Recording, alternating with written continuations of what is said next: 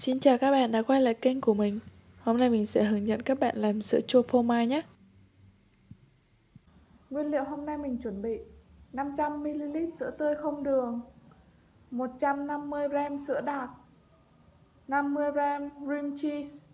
Mình sử dụng cream cheese thì sẽ ngon hơn nha các bạn. Các bạn có thể sử dụng phô mai con bò cười cũng được nhé. Một hũ sữa chua không đường mình sử dụng sữa chua của Vinamilk hoặc các bạn có thể sử dụng sữa chua của TH cũng được nhé. Và ờ, vài cái khuôn để mình đổ sữa chua nhé. Bây giờ mình sẽ tán đều cái phần cream cheese này trước nhé. Cream cheese này các bạn có thể uh, ra những tiệm làm bánh á. Mình mua là có ha. Mình để ở nhiệt độ phòng thì sẽ dễ tán hơn nha các bạn. Mình tán như vậy là được rồi nhé Mình sẽ cho 500ml sữa tươi vào cái nồi này nhé Mình sẽ cho sữa đặc vào luôn nhé Đến lúc mình nấu mình ờ, khuấy cho đều ha các bạn. Mình cho sau nó dễ bị khét lắm. Rồi giờ mình mang đi nấu nhé Giờ mình sẽ bắt bếp lên nấu ha. Các bạn khuấy đều tay cho sữa nó được đều nhé Không bị động dưới đáy, không bị khét nha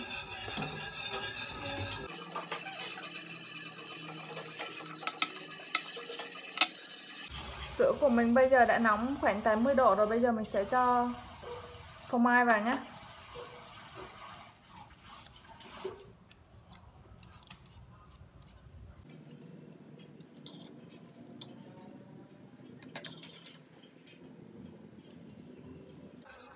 Mình nấu cho đến khi phô mai nó tan ra và nó chín rồi nha các bạn. Giờ mình sẽ tắt bếp nhé. Phần sữa của mình đã nguội bớt rồi, Nhưng mà vẫn đang còn ấm ấm nha các bạn. Giờ mình sẽ cho sữa chua vào nhé.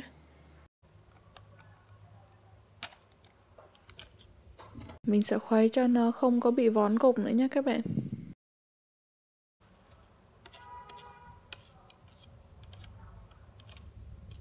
Rồi, mình đổ vô.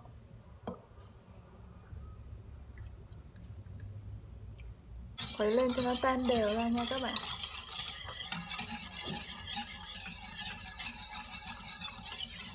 Bây giờ mình sẽ lược nó qua một cái rây nhé Mình lược, lược để mình lấy lại cái phần lặn cặn nha các bạn.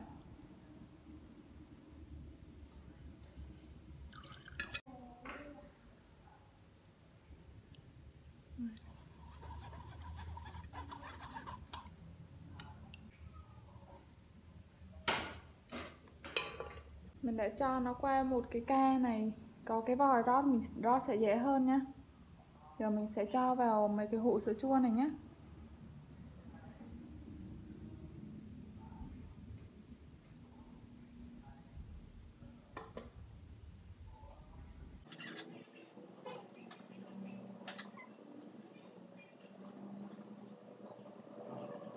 Vậy là mình chỉ làm ra được 8 hũ thôi nha các bạn Mình còn dư lại 7 hũ nữa. Mà trên mặt sữa chua của mình có bọt thì các bạn hớt hết bọt ra nhé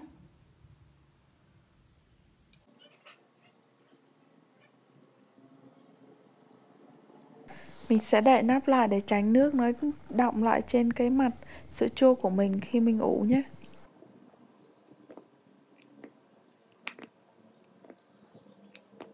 Mình đã chuẩn bị ở đây một cái nồi rồi nè các bạn. Hôm nay mình sẽ ủ sữa chua bằng nồi ép suốt nhé. Mình sẽ xếp sữa chua vào ha.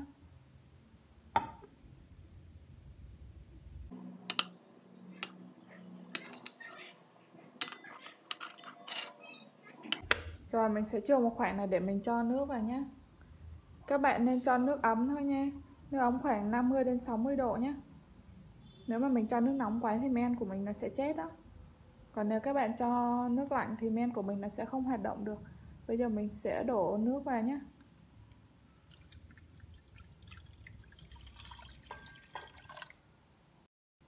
Mình sẽ đổ 1 phần 3 cái hũ sữa chua này ha. Nước mình sẽ đổ 1 phần 3 hũ sữa chua là được rồi nhé các bạn.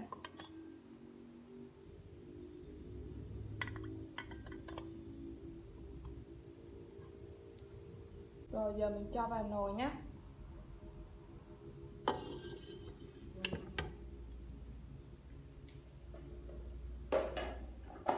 Mình đậy đắp, Mình đậy nắp lại cho kín ha.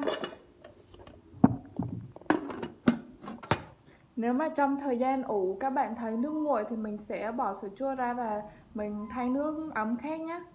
Nhưng mà các bạn tránh làm xê dịch cái chân sữa chua ha, nó sẽ không có đông lại đâu. Giờ mình sẽ ủ 8 đến 10 tiếng nhé. Sữa chua của mình sau khi đã ủ được 10 tiếng rồi nè các bạn. Để mình lấy ra nhé.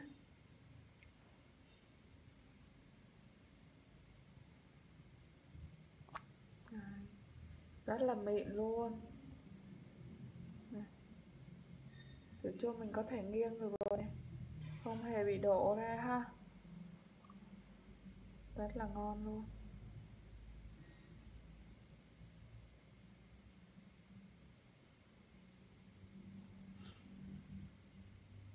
Rồi mình có thể úp ngược lại được luôn nhé.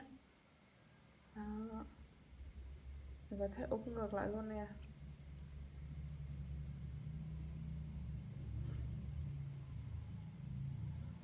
Để mình lấy ra hết nhé Mình đã lấy ra hết rồi nè các bạn. Các bạn có thể thấy sữa chua của mình có thể úp ngược được luôn ha. Vậy là mình đã làm thành công sữa chua phô mai rồi đó các bạn. Sữa chua của mình đã sánh đặc lại và rất là mịn luôn. Bây giờ mình sẽ thử cho các bạn xem nhé Rất là mịn luôn nha các bạn.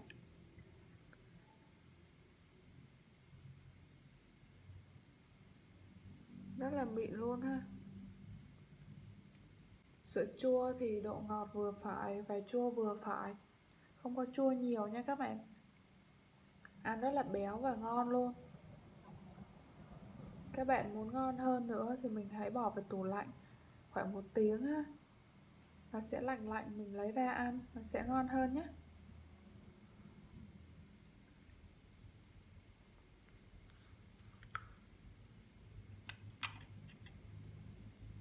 Chúc các bạn sẽ làm thành công với món sữa chua phô mai này nhé Cảm ơn các bạn đã xem hết video của mình Nếu các bạn thấy hay hãy like, share và subscribe kênh của mình nhé Hẹn các bạn ở các video tiếp theo. Bye bye!